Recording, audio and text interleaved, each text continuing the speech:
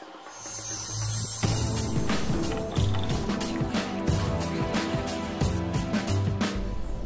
Welcome to WatchGuard's Daily Security Byte. I'm Corey Nachreiner. Today's story is a new Adobe Flash zero-day flaw.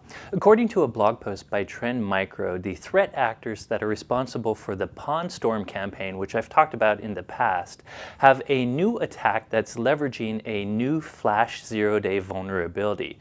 Just to refresh your memory, just at the beginning of this week, Adobe released a new Flash update. But these actors are using a new exploit that hasn't even been fixed. So I just wanted to warn you about about this new Flash Zero Day? Now Trend Micro, who's our IPS partner, has already informed Adobe of this vulnerability and according to an Adobe security advisory they just released, they plan on releasing yet another fix, a flash fix for this on October 19th. So the main takeaway here is to be sure to install that new Flash update on October 19th when it comes out. Until that time, you might want to consider whether or not you really need to use Flash in your business.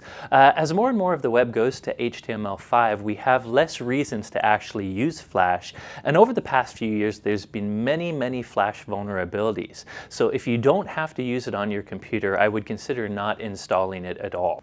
That's it for today's story. Thank you for watching.